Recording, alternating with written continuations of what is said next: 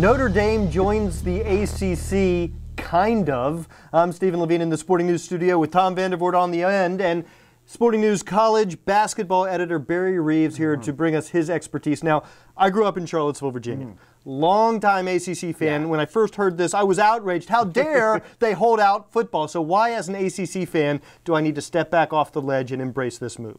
Well, it's probably going to mean a lot of uh, easy victories for your basketball team. So Virginia, you know, we're talking Virginia. Well, here. maybe not as much for Virginia, but certainly for North Carolina and Duke. What the ACC is getting uh, is that it's sort of like getting a Whopper without the beef. I mean, getting getting Notre Dame without football is then you're getting a bunch of mediocre, medium level programs. Really, women's basketball is probably their only marquee program you're getting as far as going to raise the level Pretty of competition. Good lacrosse team. Pretty good, good lacrosse. lacrosse okay, I'm unfamiliar with their lacrosse program, but lacrosse but basketball. You know, this is a program that has one Sweet 16 appearance in the last 25 years. One. It has made five of the last six NCAA tournaments, but it's lost to Xavier, Florida State, Old Dominion, Washington State, and Winthrop. And then the other year it missed the tournament. So you're not exactly improving the competitive balance of, you know, in the ACC. So as a basketball fan, this does nothing. But you are getting a marquee name as far as an institution goes. And so is that worth something to, to the ACC as a basketball? But mm-hmm. I, I, think football still seems to me to be mm-hmm. a focus of this move because you are getting games. They're not a member of the mm-hmm. conference, mm-hmm. but you're getting five games a year against Notre Dame. Yeah, well, you're getting five games a year against Notre Dame, which will help your schools on their individual TV contracts, but they're not getting – them in the conference, so it doesn't have a dramatic impact on their right. contracts with ESPN. And so, you know, while it enhances their position somewhat, but you know, any of those schools that are playing Notre Dame are not going to be playing another marquee team. So when it, Florida State's turn comes around, Florida State probably doesn't play Florida that year. So how does that really help yeah. Florida State's football schedule? So it still mm-hmm. seems to me, I mean, in this conversation, that it's a pretty lopsided deal in Notre Dame's favor. I guess mm-hmm. the one thing you can say is, well, the ACC, their academic standards are in a line mm-hmm. with Notre Dame's academic right. standards. Yeah.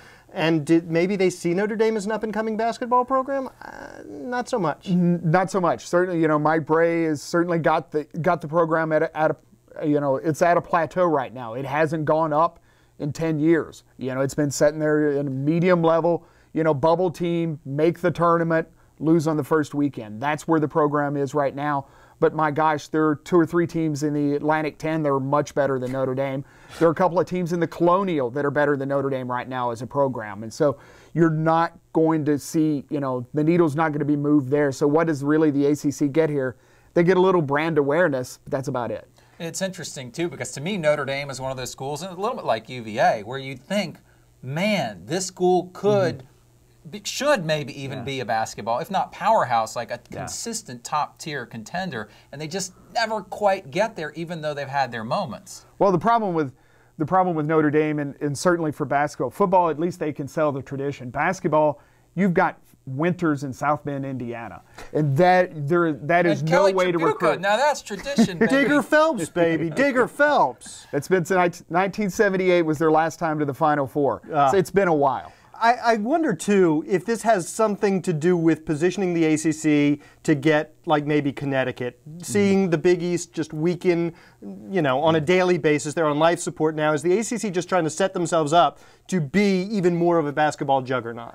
I'm not sure if it's it's about being becoming a basketball juggernaut. It's about maintaining their foothold and making sure that if this goes to four conferences get access to the national championship game in football, that they're one of the four.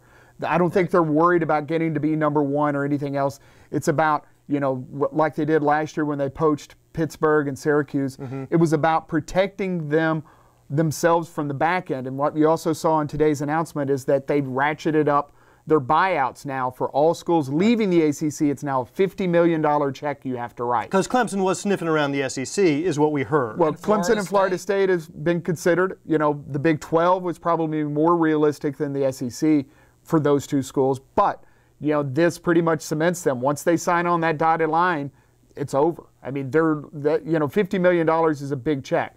Writing a, you know, a school writing a $5 million check, that's not that big a deal. Right. You add a zero, that's a big deal. yeah, for such a little number, it carries a lot of weight. All right, well, there's going to be more to this story as it develops, and we'll we'll be back in studio with more information when we have it. For Tom van der Voort and Barry Reeves, I'm Steven Levine. Thanks for watching. Thanks.